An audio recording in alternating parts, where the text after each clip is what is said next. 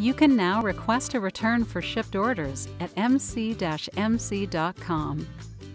When viewing order history, select the specific order number to request a return.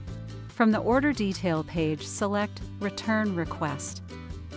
You can now select the product, quantity, a reason for the return, upload an image of the product, and provide additional notes at the top of the page. The text, This product is not returnable, will display if the product is not currently in our online catalog. Selecting Send Return Request routes the request to your regional return contact for review.